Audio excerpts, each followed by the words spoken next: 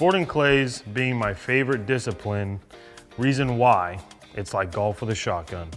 Just like in golf, you go hole to hole with a group. In sporting clays, you're going from station to station with a squad. You're going to have different speeds, different angles, different distances, different size of the targets, and depending on the state that you're shooting in, you're gonna have different climate and different backdrops. You go to Arizona per se, and you have really nothing to judge distance and speed off of. And then you go to somewhere like Georgia, where you're in the woods, and you're dealing with the target strobing, where you're losing sight of the target because it's hitting different shadows of the trees. And so you're seeing it, not seeing it, seeing it, not seeing it. And that's why I love this game because it's the most challenging clay shooting that you're going to experience.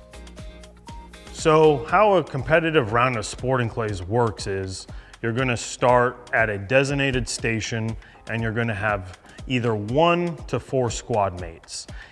And you're gonna have a trapper or referee at each station who's going to score you and show you each target presentation.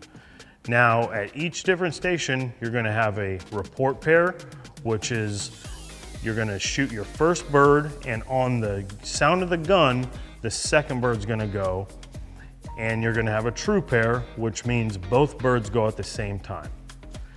And that referee will show you two view pairs and then you can attack each pair how you see fit. And he will score you after each pair.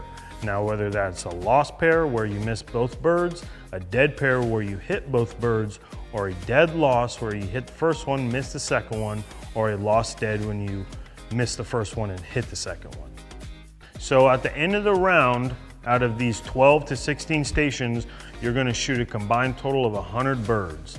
And however many birds you hit out of that 100 is gonna be your final score.